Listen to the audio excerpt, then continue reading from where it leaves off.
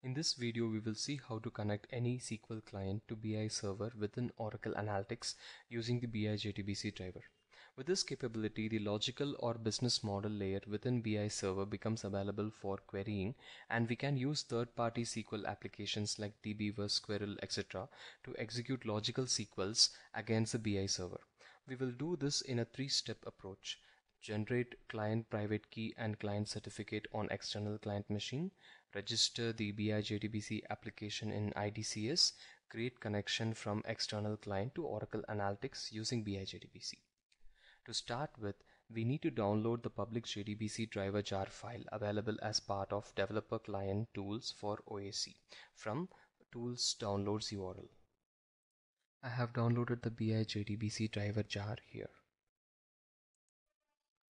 Let's create client private key and certificate file using git bash prompt with the following commands and the options as shown in this video.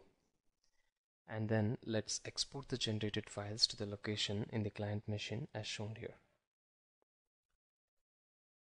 You can see the generated files over here. Now let's log on to Oracle Identity Cloud Services with the following credentials to create the application. Let's create a new application by clicking on add button over here and let's select confidential applications. Let's give the application a name and say next. Let's configure the application by selecting resource owner and JWT assertion as allowed grant types and trusted clients as security and let's import the certificate created in the previous step and say open here and provide an alias for the certificate and click import.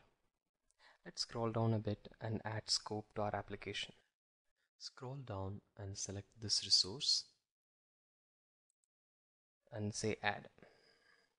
Let's copy the scope URL and store it in a notepad for further use. Now let's grant the client access by selecting identity domain administrator and me and say add. Now let's select next, next again and finish. Let's copy the client ID and secret and store it in a notepad for further use. Close this dialog and let's activate the application now.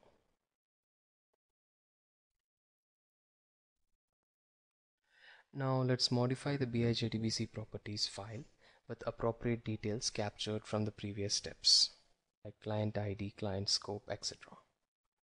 Let's copy the client ID from the notepad and uh, let's provide it against IDCS client ID in the properties. Let's do the same with the scope as well. Let's copy the scope URL captured from the previous step and let's add it against IDCS client scope in the properties file. Don't forget to change the right location for the certificate files. And let's add these two entries in the file and let's save it. Let's open a SQL client like Squirrel to create a connection with BI server. Click on drivers and click add new driver.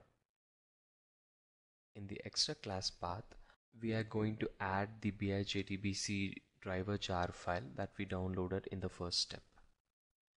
Say open and provide a name to the driver test BI JDBC and example URL in the following format Copy this and paste it over here in the example URL and provide a class name and say OK.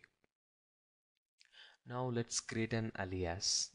Click add new alias and select BI JDBC driver that was created in the previous step and give a name to the alias and test the connection.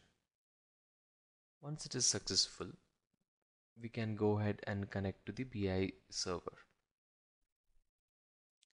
Now we are connected to the BI server. We can start issuing SQL queries to the server directly. I'm going to issue a query from the donations example and fetch 40 rows. So you can see the output in the results tab. Thanks for watching the video.